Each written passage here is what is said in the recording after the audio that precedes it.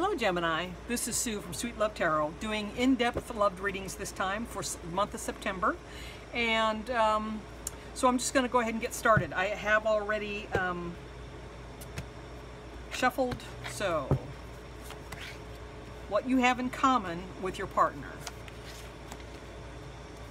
uh, what's going on with them, who you're dealing with, um, how you're being perceived, and how this affects things.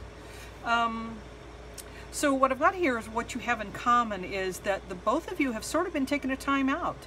You've not been like dating a lot or doing a lot of stuff with other people. You've kind of been taking it easy, a self-imposed rest. Um, and so you're at a point now where you really want to let that go. It, it could be the influence of each other that makes you feel as if you really want to go forward now and you don't want to rest anymore. Um, now, how this person is um, dealing with things, what's going on with them, they're still they're still not quite healed. They're still in healing mode, but they're not quite done yet. They are hoping though, they are wishing, but they still have a little bit of self-doubt.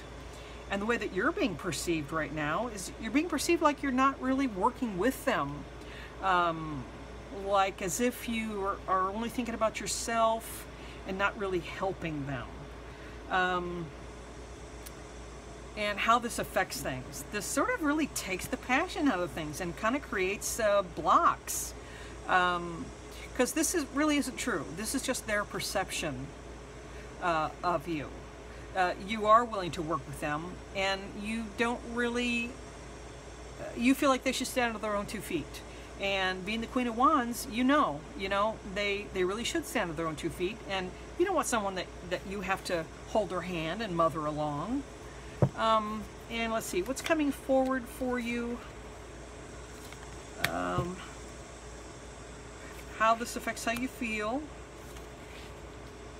and how you're dealing with it. Okay, what's coming forward? You you don't feel like this has been very fair going forward. You feel as if you've probably done more of the work than they have, and that actually looks like it's probably true. They've been kind of feeling sorry for themselves, and you know, boo-hoo, help me out, and and but you know, but you kind of want somebody in your life uh, moving forward. You don't really want to to go it alone. Um, but you see that this person really isn't using their inner voice. They're not listening to their intuition. Um, and you know that they've got that. Everybody does. Listen to your heart. And you feel that they're not really doing that. And how, how that's affecting things, how, how things feel between the two of you, it makes it feel like it's not moving forward. Chariot in reverse. No forward movement. Um, how you dealing with it, you're trying to keep the lines of communication open. You're working very hard at perfecting this, but you kind of don't feel like it's been lucky. You feel like things have not really turned in your favor yet. And I kind of get that feeling too looking at this. It's not really moving forward yet. But uh, at, at this point, after you've put in the work and you've kept the lines of communication open, let's see how that's going to affect things going forward.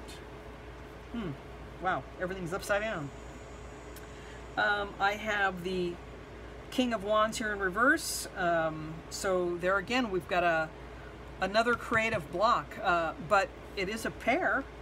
you got the Queen and the King of Wands in reverse. Uh, I have the Hierophant here in reverse. So that tells me that this person maybe doesn't really believe in a traditional relationship. Uh, maybe they think outside the box and they're kind of a nonconformist about things.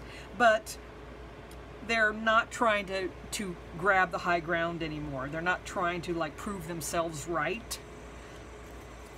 Uh, your current focus, what it should be, uh, what your focus should be on is the end of the cycle. Uh, Ten of Swords in the upright. This is betrayal, but it's at the end of the cycle. So you still do have a, a pain from the past that is haunting either one or both of you and what you need is uh, the world. You need to get closure on this for this relationship to feel like it's whole or complete. Uh, clarifiers. Nobody wins. Everybody holds back. I feel like at this point going forward, because you're not really done yet with this, um, with the betrayal, the healing has not completely taken place, and someone is still going to be focused on what they've lost rather than what they have. Okay, the tower. Someone is still hanging on to the past. But there is love there. Um, so I guess what you need to, to uh, but this is at the very end. So we're talking like at the end of September, perhaps, someone's going to be able to get past all this. This looks like a complicated mess right now between you and your partner. Um, there is love in the end. Um, it's a small expression, uh, but it is an expression of love nonetheless. So that's what I have for you, Gemini, and um, I hope you join me next time. Thank you. Bye-bye.